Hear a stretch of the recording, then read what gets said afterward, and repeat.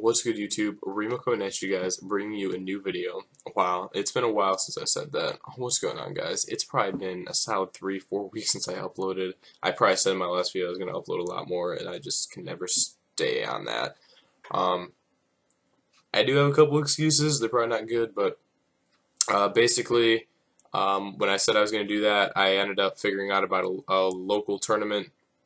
It wasn't really local for me, but it was down in Kentucky. It was 24 teams, you know, and I thought it would be a great idea to go down to this event with the players that I went down with, and um, it was a struggle. Uh, we had a solid three players that stuck together through the whole thing, and then we went through 10 different players before we found the right fourth for the event.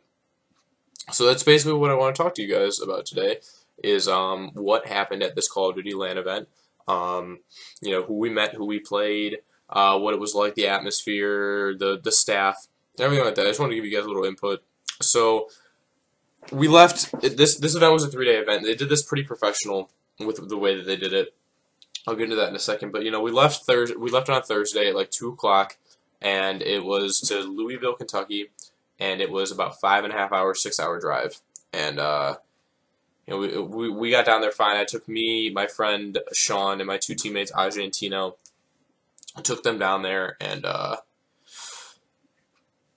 we got we got down there. We got down to our hotel. You know, we stayed in the hotel. We got some food. We had a blast in the hotel. Um, chilling with your friends in a hotel like that, your teammates that you've been waiting to see for a long time is uh is a real is really like a like a privilege it gives. It's awesome to see your teammates in person and be able to compete with them like sitting beside you. So first day was Friday. The event got a little bit delayed because of a fire next to the event that burnt down like a building. It knocked out the power. So you know we get to the event at like 12:30 and we have check-in and they did that. They did it really professionally for check-in. I don't think I have the badge sitting around here, but they gave us Teamcast badges, and I thought that was pretty cool because when I went to Michigan Esports and I went to that event, um, you know, they didn't really do that, even though they they weren't that big at the time. But they gave us these cool tournament VIP badges. That was pretty cool. So you know we had we had our tournament badges, and we looked over, and we only saw two stations set up, and I'm pretty sure they promised four, but I couldn't be 100% on that. But there were two set up, and they called teams to scrim right away, and they called Uplink, which was our team, and they called another team just to just to scrim and practice. So we were the only team that got to warm up. We had huge crowds around us. It was really nerve wracking. We didn't have our headsets on. But we played the first match and we won like 250 to like 50 points on hardpoint. It was a blowout. And then we were up like 10-2 on uplink comeback before we just started playing for stats. We ended up losing that game. They came back on us. It was it was just a team scrim. We were not even trying whatsoever. They started communicating. So and then our third team scrim we played BioLab CTF and we won like 7-1 on CTF. We were just on fire. People were just watching us and you know they ever all the teams for the rest of the event were like, "Yo, we want to beat that team." So we're we're chilling and we're doing pool play, and there were seven pools with three teams per pool, and every team had to play each other for seeding, and it wasn't even to go home, so we had to play two matches. Well, we got there at twelve thirty. We didn't play our first match till eight o'clock, and what we did until eight o'clock is pro player Sharp from T Team Kaliber, TK Sharp. He was at the event with his team. He went with Nihil and two other people, and um, he, he, like we were like we talked to him. We are like, hey, you know, we said hi. A lot of people were saying hi to him.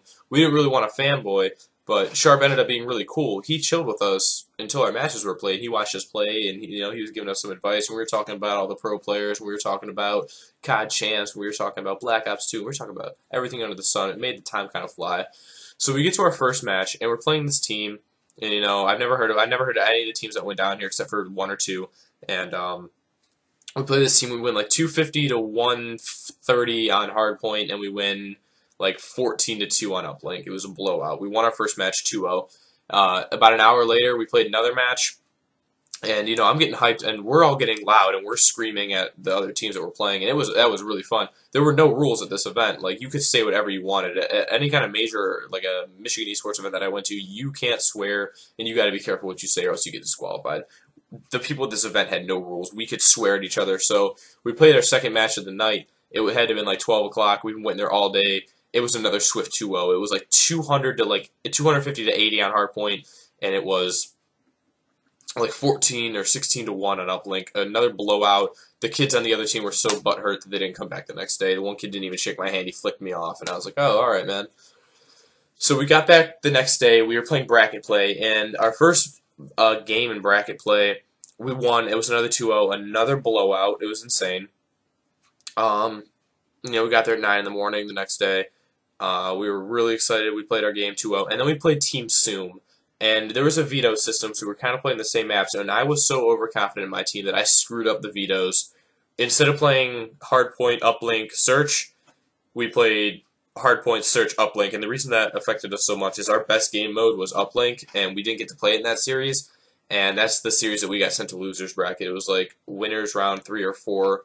I think it was round three winners that we went down to uh to losers bracket by Zoom. They 2 0'd us. The the hard point was pretty close by like 50 points, and I put a lot of blame on that game on me. I, this is a team game, you know. If, if, if someone's not doing good, it forces the rest of your teammates to pick it up. But at the end of the day, you can't blame an individual teammate. But I did put a lot of blame on myself for that map. I was the AR player, and their AR player was kind of being a douche.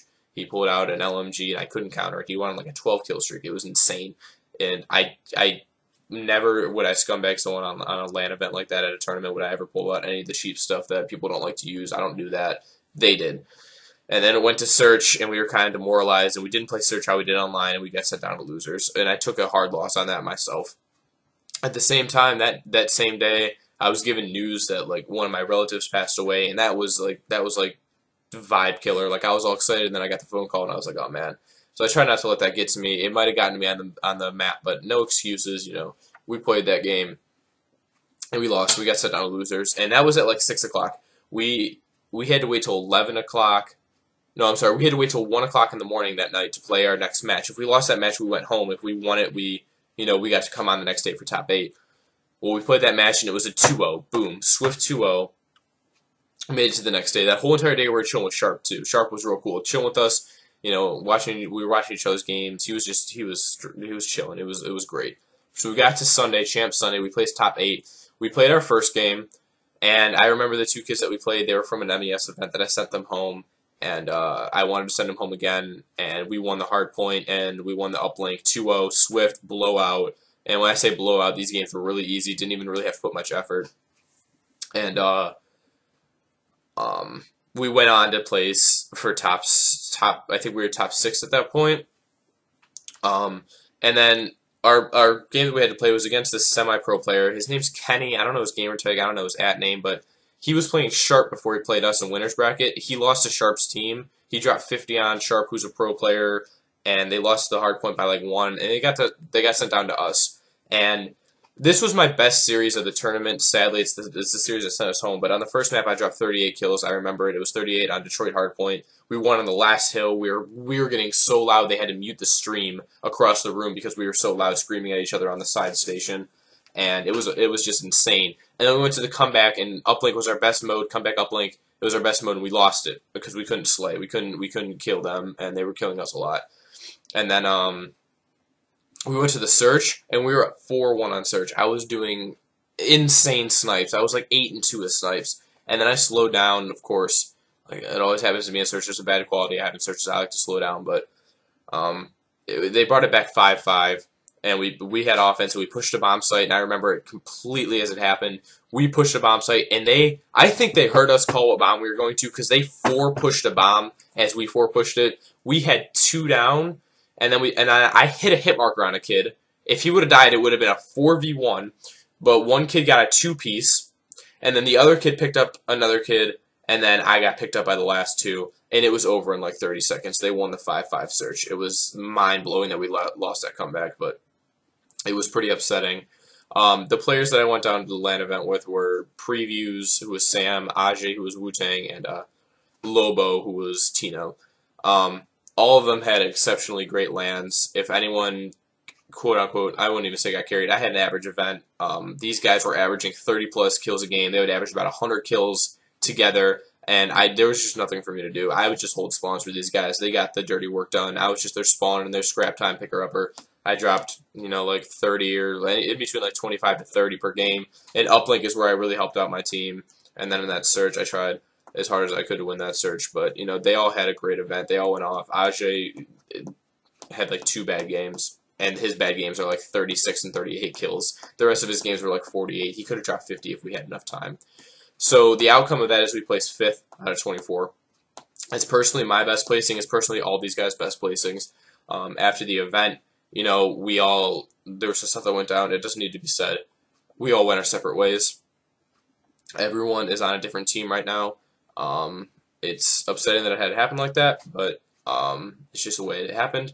If you guys know me personally, you know what happened. It doesn't need to be said again, but um, yeah, that's where I'm at right now. Uh, I have a team in the process, I guess, right now that I'm working with, trying to go down to Michigan Esports uh, 20K LAN. I'm playing in a couple tournaments this weekend that I haven't been able to do because of uh, money issues on previous teams, and you know, I'm really uh, every single time that I placed at a tournament, I ended up leaving the team and moving up to a bigger and better team, and you know, it's something that I really needed to tell myself because after this event, you know, it was really I grinded for like a week trying to find people, and it was just frustrating. So, um, shout out to Sharp um, for being so chill at this event. He gave me a shout out on Twitter. He was really cool. You know, he followed all of us. He just he shared a whole bunch of personal information about all of his, his like gaming career and how he came to be. And he was really funny. He was a really, really, really humble player. So shout out to him. Shout out to Reckless Events is the LAN that we went to. They're going to be hosting some more. Shout out to my three teammates that did phenomenal. And it was the reason that we placed fifth at this event. Couldn't have done it without them. And, uh, you know, shout out to all you guys that are watching this video right now because I know that I haven't uploaded in a while. I have over 100 subscribers and I really want to hit the 500 mark is my goal. Is my I know it's a huge goal, but I really want to hit it. I've been hitting I my most viewed video has like 350 views. It's insane. Thank you so much for the support. If you're watching this, again, thank you again for the support because I know how hard it is to stay active with a YouTuber if he doesn't post as much as I do. Um, immediately following this video, I'm going to be doing what I want to see in the new Call of Duty that was announced. Um, so I hope you guys like this video, and I hope you guys are going to view the next video. If you do, make sure to like, favorite, comment, subscribe. My Twitter's going to be down in the description below, and YouTube will catch you later.